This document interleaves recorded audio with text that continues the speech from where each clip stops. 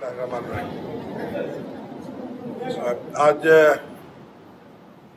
पाकिस्तान का योम आज़ादी जो है वो तुलू होने को है उसका सूरज। तो इस मौका पर हम अपने अल्लाह ताला से ये दुआ मांगते हैं कि पाकिस्तान को जो भी मुश्किल दरपेश हैं उनसे वो निजात दिलाए। और पाकिस्तान बड़ी इस वक्त मुसीबतों में घिरा हुआ है दहशत गर्दी है करप्शन है बदनवानी है।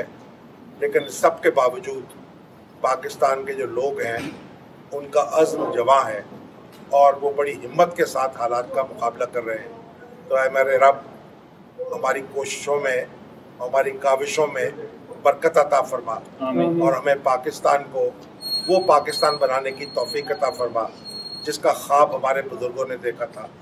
और जिसके लिए हमने लाखों जानों की कुर्बानियाँ दी थी जिसके लिए लोगों ने घर बार छोड़े थे माल इसबाब जो हैं उनसे किनारा कशी इख्तियार की थी।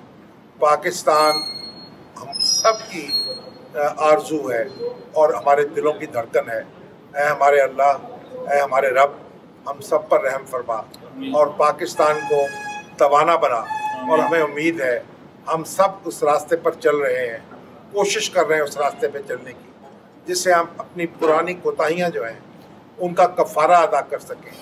और आप ऐसी क्यादत मुल्क को दे सकें जो दयानतदार हो जो अपनी खुद गर्जी में मुबतला ना हो जो कौमी मुफाद को ज़ाती मुफाद पर तरजीह देती हो तो है हमारे रब हमारी इस काविश में बरकत अता फरमा और हमें हमारी मंजिल अता फरमा और हमें हमारे हमें ये हिम्मत अता फरमा कि हम तेज़ कदम उठाकर अपनी मंजिल पर जा सकें और आगे बढ़ सकें।